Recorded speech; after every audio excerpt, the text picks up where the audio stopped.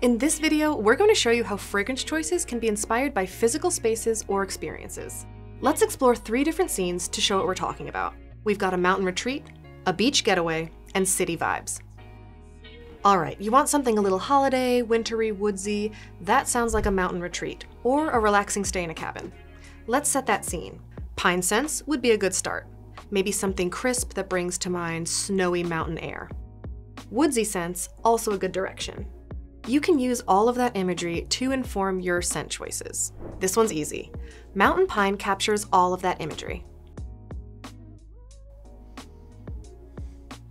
This one is strong on its own, and it's actually a great blender for amplifying the woodsy notes of other fragrances like dry gin and cypress and cranberry woods. If winter's not your thing, we get it. So for summer, we're going for a beach getaway. Sunny, fun, and coastal. Our fragrance choice is Beachwood. This is an extremely fresh and clean scent that evokes the calming effects of the coast. This is heavy on the wood, there are absolutely notes of sea salt and marine, but the dominant notes here are more grass, sage, and moss, uh, making this a really unique seaside scent. Or maybe you're not looking to get away at all and prefer to be right in the middle of the hustle and bustle. If city life is more your speed, we'd recommend Cashmere Musk.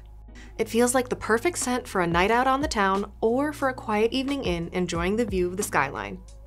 This scent is modern, rich, and captivating,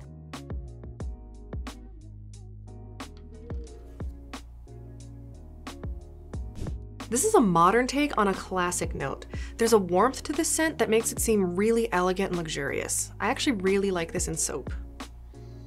Some alternative branding could be Modern Musk, Amber and Musk, or Chiffon Musk.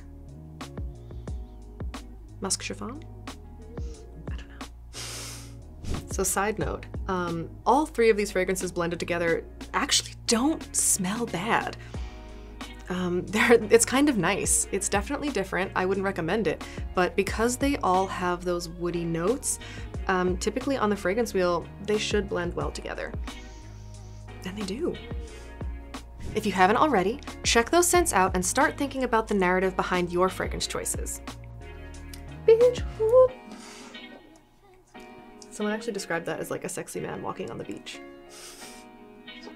The more I smell this, the more I like it. Cashmere musk. Mm. Accidental science.